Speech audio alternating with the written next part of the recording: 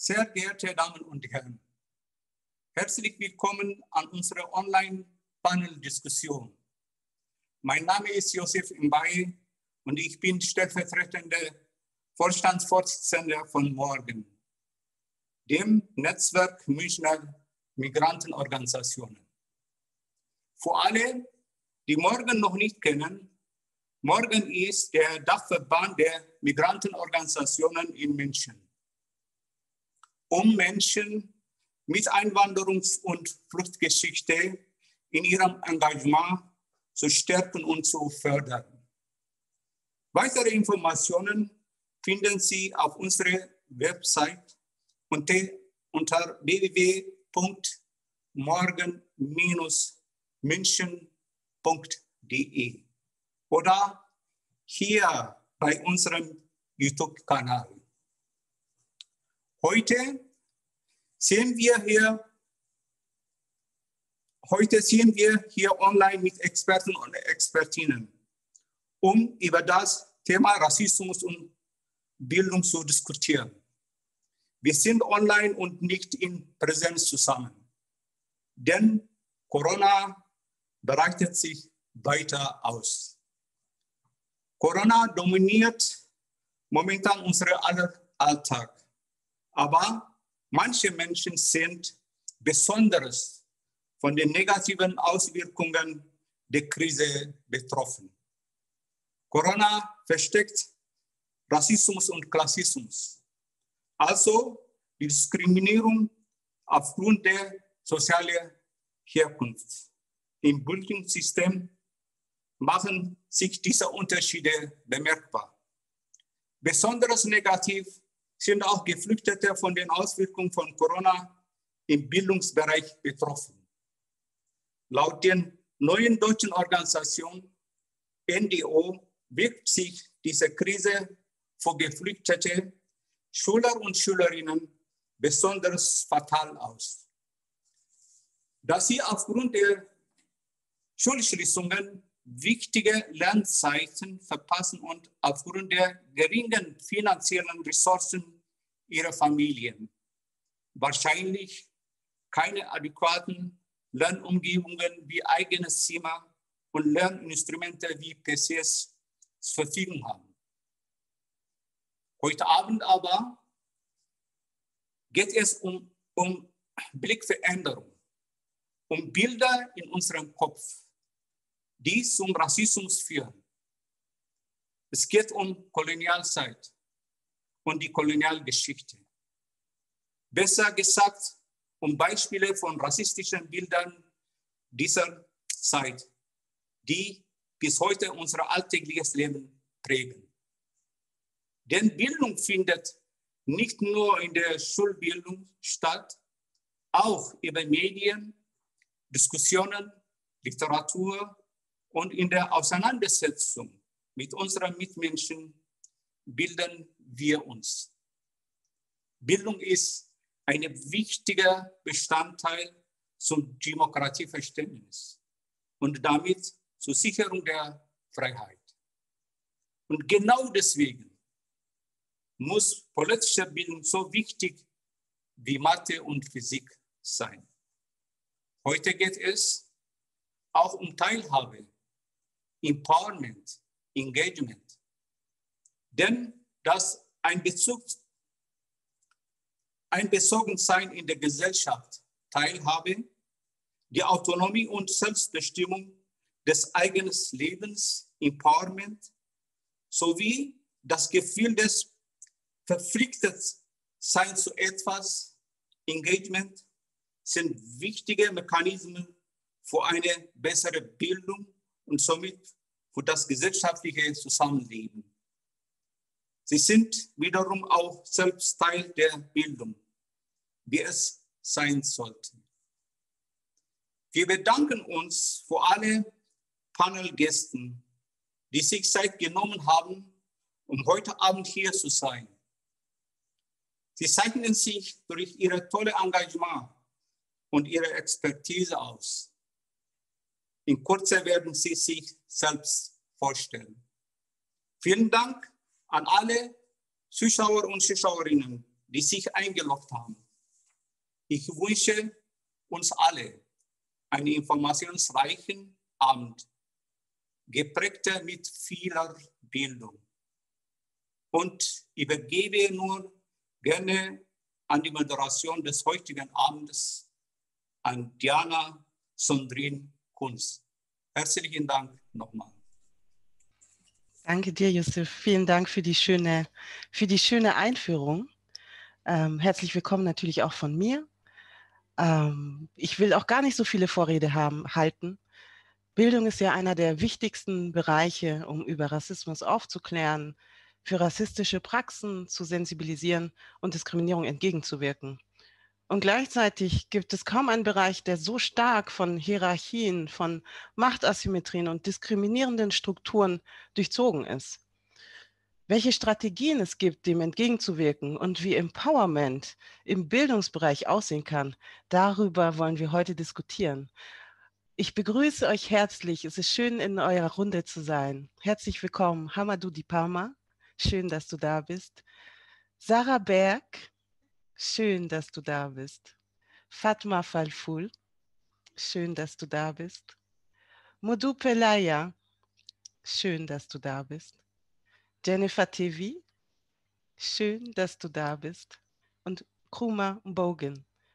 Schön, dass ihr alle da seid und diese geballte Expertise heute teilt. Am besten stellt ihr euch einfach selbst vor. Amadou, möchtest du anfangen?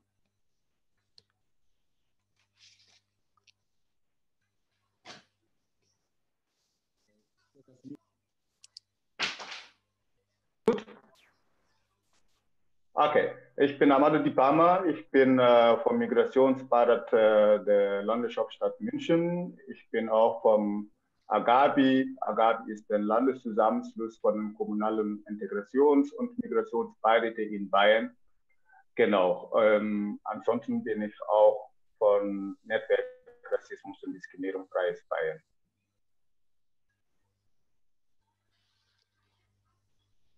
Sarah, möchtest du weitermachen? Ich gehe jetzt tatsächlich nach den Kacheln. Ja, gerne. Guten Abend. Schön, euch auch alle zu sehen. Hallo in die Runde und nach draußen. Ähm, ja, Sarah Berg ist mein Name und ähm, ich bin lange Jahre ähm, seit meinem äh, Studium der Pädagogik und Theaterwissenschaft äh, hier in München tätig äh, und habe äh, Kultur- und Kunstprojekte lange Jahre mit viel Herzblut und einer wunderbaren Kollegin Sarah Mack verantwortet und mitkonzipiert, ähm, sodass meine Leidenschaft sozusagen äh, Bühnenräumen gehört. Ähm, und äh, jetzt bin ich nicht mehr nur ausschließlich selbstständig, sondern seit fünf Jahren am Referat für Bildung und Sport am Pädagogischen Institut Zentrum für kommunales Bildungsmanagement, muss man ordentlich jetzt immer dazu sagen. Und wir sind der Fachdienst für politische Bildung und dort äh, bin ich verantwortlich für ähm, das Angebot für Schüler und Schülerinnen ähm, um Workshops, Seminare, Kurstage zu Themen der Zeitgeschichte der politischen Bildung mit ähm, ja, anzubieten. Danke, Sarah. Fatma, wer bist du? Guten Abend alle zusammen. Äh, freut mich, dass ich heute dabei sein kann in die Runde. Äh, ich bin äh, Fatma Falful, mein Name, und ich bin äh, ehrenamtlich im MOVE-Projekt zuständig. Also ich bin eigentlich wissenschaftliche Mitarbeiter an der Uni BW in München und ich habe mich auch während dem Studium viel mit dem Thema Bildung und Ungleichheit beschäftigt. Das hat mich auch mein ganzes Leben durch meine eigene Erfahrung auch immer so begleitet. Deswegen hat es mich auch sehr interessiert, das Thema. Und deshalb auch diese ehrenamtliche Engagement. Mir ist es halt sehr wichtig, dass ich auch äh, den Eltern oder auch den äh, Kindern, die das jetzt alles durchmachen müssen, was ich halt auch erlebt habe, mitzugeben, einfach diese Bildungslücken zu füllen, vor allem diese Informationsdefizite, die man dann hat, dass man alles mhm. zum Beispiel alles viel später erfährt als sonst und dass man einfach äh, zur Stelle dann dasteht, wenn man Fragen hat oder nicht weiß, wie das mit dem Studium oder mit der Schule weitergeht. Und da will ich das mitgeben, was ich später so, also früher so verpasst habe oder nicht mitbekommen habe. auch ist mir halt auch kulturelle Bildung sehr wichtig, wie zum Beispiel Skifahren oder zum Theater. Also manche Eltern oder ist ja verständlich, kommen nicht drauf, mit den Kindern das zu machen. Und dass man äh, den Kindern und den Eltern zeigt, dass es halt in München sehr viele Angebote gibt, weil man weiß das gar nicht. Es gibt sehr viele Angebote und viele wissen nicht, dass sowas gibt. Und mir ist so wichtig, dass man diese Anlaufstellen kennt und wohin man geht, wenn man Unterstützung braucht. Und vor allem bin ich halt auch im Bezirk Trudering-Riem hier zuständig, weil ich auch hier wohne. Und ja, also auch politische Bildung spielt für mich auch eine große Rolle, auch dass man zum Beispiel zu dem Bezirksausschuss teilnehmen kann, dass man einfach mitreden kann, dass nicht mal über einen immer geredet wird, dass man mitentscheiden kann. Und mir ist das halt sehr wichtig. Und deswegen nehme ich halt heute dabei. Danke, Fatma. Modupe, wer bist du? Oh, dein Ton ist noch nicht an. Guten Abend. Ja, schön, dass ich hier in der Runde mit dabei sein kann. Mein Name ist Mudu Benaya. Zurzeit bin ich ähm, als Vorstandsmitglied im Eine Welthaus in München aktiv. Das heißt, ich, mein Anliegen ist es auch, so in der Stadtgesellschaft etwas ähm, im Kontext kultureller Bildung zu bewirken, was ähm, den rassismuskritischen Blick auf Kontexte anbetrifft. Äh, angefangen hat das ähm, in, während meines Studiums als äh, Literaturwissenschaftlerin. Also ich habe Anglistik studiert und ähm, da habe ich gemerkt, dass schwarze Autoren und Autorinnen auf bestimmte geschichtliche Ereignisse einen ganz anderen Blick haben. Ähm, und ähm, davon handelte dann auch meine Diplomarbeit. Und seitdem bin ich halt sehr mit diesen schwarzen Narrativen äh, befasst. Also einfach ähm, mit Narrativen, die weg vom eurozentrischen ähm, Blick ähm, andere Kontexte aufzeigen. Danke, Modupe. Jennifer, möchtest du dich vorstellen? Hallo, ähm, ich bin Jennifer. Ich mache ähm, Workshops, in denen ich Kindern teilweise etwas afrikanische Geschichte nahe bringe. Und mir liegt es halt sehr am Herzen, dass vor allem afrikanischstämmige Kinder wieder so einen Stolz oder ja, eher einen Stolz für ihre Herkunft entwickeln und auch wirklich verstehen, woher sie kommen und dass Afrika, so wie es ihnen gezeigt wird, nicht Afrika ist, also nicht das Afrika von Afrikanern ist. Und ja, deswegen bin ich heute hier. Danke, schön, dass du da bist. Kuma, du hast das Wort. Hallo, ähm, erstmal schönen Abend an alle. Und zwar, ich bin der Krumma Bugen, 22 Jahre alt. Äh, und ich habe vor einer Woche mitbekommen, dass es eine Podiumsdiskussion über das Thema Bildung und Rassismus geben wird. Und mich hat es halt sehr, sehr interessiert, da ich äh, mich seit mehreren Jahren schon mit der Geschichte Afrikas auseinandersetze. Und äh, ich möchte halt nur dazu sagen, dass Bildung für mich nicht immer nur Schule, Universität ist, sondern man kann sich auch selbst bilden.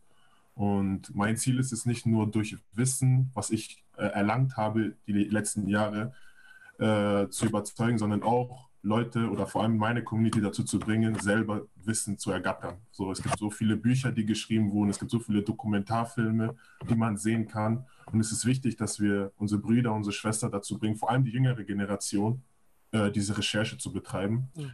Äh, da, dadurch habe ich auch angefangen, eine Instagram-Seite zu starten, die heißt Afokrasie. Die habe ich seit 2018 gestartet. Und da geht es auch alles, was ich gelernt habe, alles, was ich weiß, mit der Community so gut wie ich es kann, zu teilen. Und äh, ich sehe mich nicht als Experte, weil ich jemand bin, der der Meinung bin, dass man lebenslänglich lernen kann und soll, äh, sondern ich sehe mich einfach als jemand, der sich mit Geschichte gerne auseinandersetzt und der einfach gerne mit seiner Community diskutiert, um eben eine bessere Situation zu schaffen für unsere Community. Vielen Dank. Ja, an dieser Stelle auch äh, liebe Grüße und gute Besserung an Rebecca Zeiler von DAFA, Deutsch-Afrikanischer Frauenaustausch. Sie sollte heute eigentlich auch ähm, die Runde vervollständigen, kann leider nicht da sein. Vielleicht siehst du uns ja, liebe Rebecca, vielleicht kannst du uns zusehen. Wir denken an dich und ähm, auch an Sie, verehrtes Publikum. Äh, Sie haben über YouTube die Möglichkeit, auch Fragen zu stellen, zu kommentieren. Nutzen Sie auch diese Möglichkeit. Ähm, wir werden darauf reagieren.